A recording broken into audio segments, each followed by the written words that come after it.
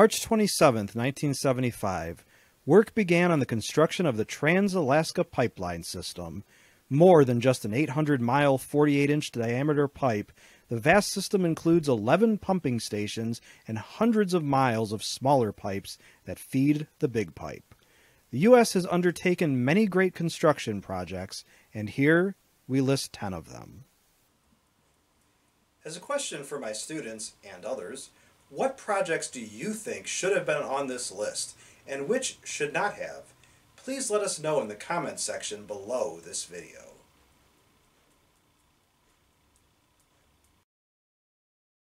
Number 10. Trans-Alaska Pipeline System. Overcoming objections by environmentalists and working in the frozen north presented quite a task. As a cracked fact, Native Americans had mined crude oil from peat soaked in oil for hundreds of years on Alaska's North Slope. Running from Prudhoe Bay to Valdez, the pipeline pumps up to 2.1 million barrels of oil per day. Objections by Native Alaskans were apparently relegated to second class status after the frightening economic results of the 1973 Arab oil embargo. Completed in 1977, projections are that less than 500,000 barrels of oil per day will be flowing through the pipeline by 2015. As a 2018 update, after a more or less steady decline in oil flow, by 2017 the average daily flow amounted to about 500,000 barrels per day. The decreased oil flow has aggravated the problem of buildup of wax and ice in the pipeline, requiring more maintenance and lost revenue. The proposed solution is to open more of now protected lands to oil drilling and increase the flow in the pipeline, a more expensive way of getting oil than the current fracking in the lower 48. Additionally, unforeseen global warming, climate change has hit Alaska harder than the rest of the United States, and the melting permafrost under the pipeline threatens its stability. Should it be shut down? You tell us. Number 9. Mount Rushmore. Sculptures cut into the rock of a mountain face depicting four of our presidents with 60 foot tall heads makes this masterpiece the largest sculpture of heads in the world. Construction ran from 1927 until completion in 1941, with the original sculptor Gutzon Borglum dying in March 1941, only months before the project was done. Borglum's son, Lincoln, supervised the completion of the memorial. Located in South Dakota, Mount Rushmore is the state's number one tourist attraction in a state where tourism is the second biggest industry, with 2 to 3 million visitors per year. The presidents depicted on the sculpture are George Washington, Thomas Jefferson, Abraham Lincoln, and Theodore Roosevelt.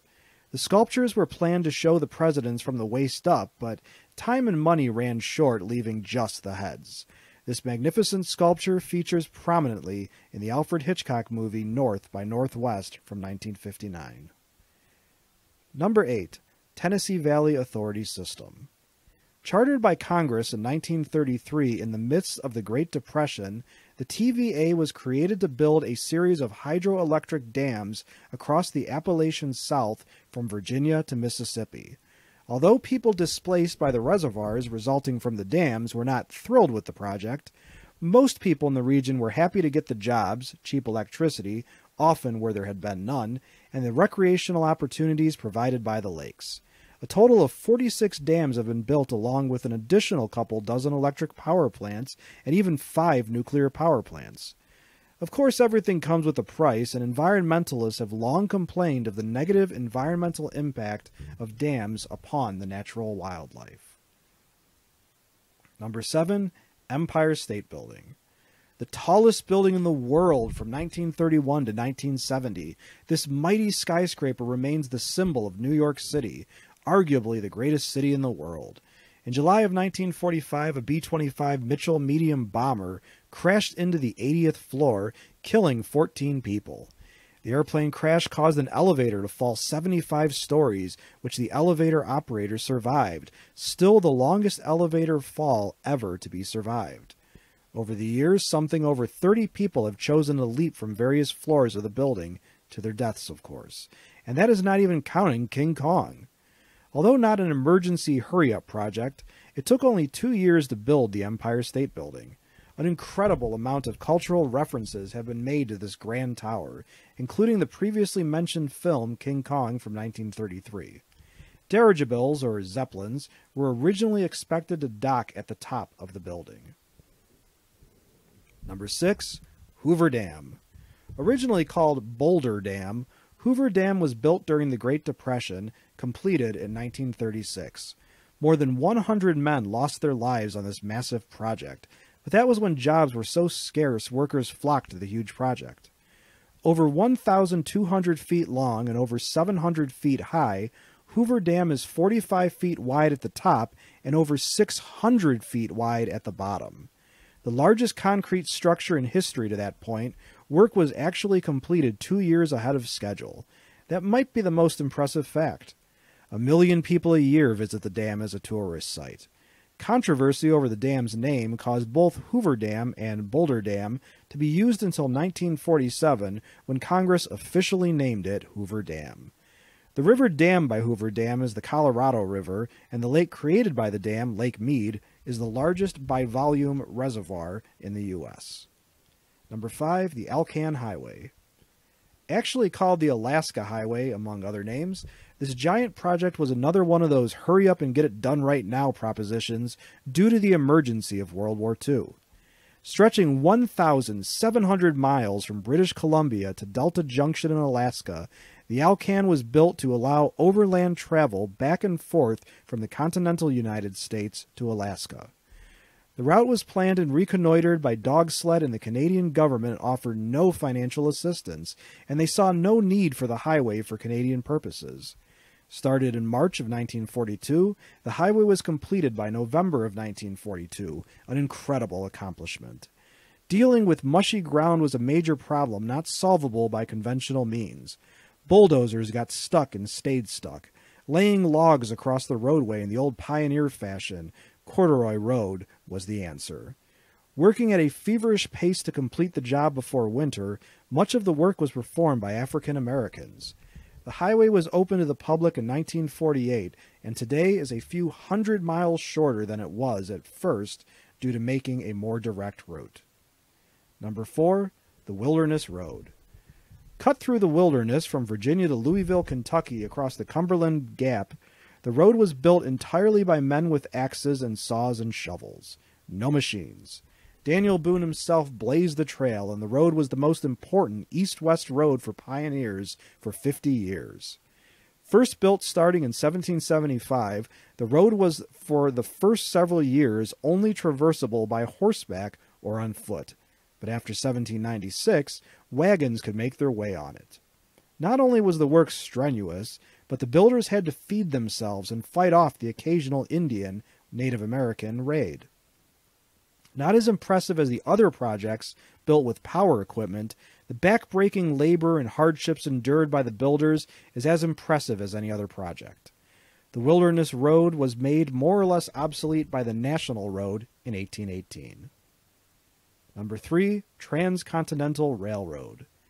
Built from 1863 to 1869, this railway ran from Iowa, where it intersected with the rail system of the eastern half of the U.S., to San Francisco on California's Pacific coast.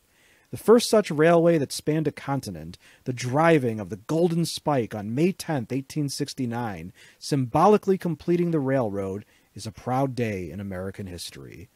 Built by the Union Pacific and the Central Pacific Railroads, Thousands of freed slaves, African Americans, and Chinese immigrants contributed to the long days of hard labor without rest while construction crossed rivers, mountains, valleys, and deserts. No longer would settlers have to brave the dangers of a wagon train or a ship ride all the way around South America to get from one coast to the other. Number two, Interstate Highway System.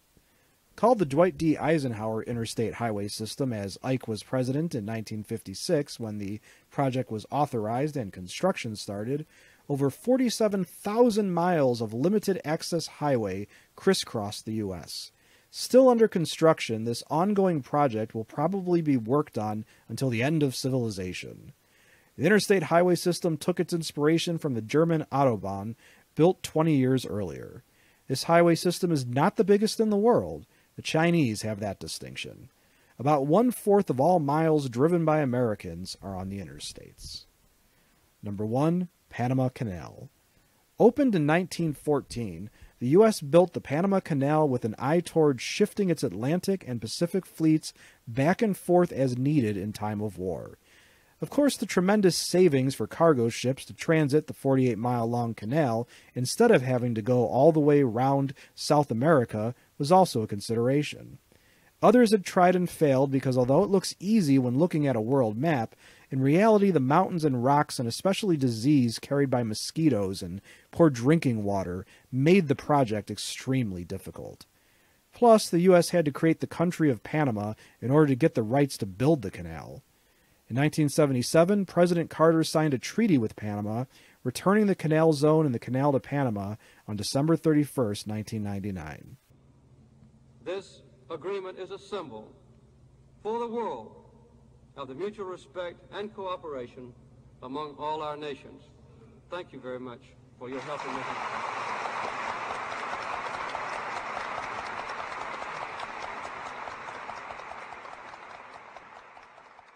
After World War II, giant warships and oil tanker ships became too big for the canal, but bigger locks are currently under construction to accommodate larger ships.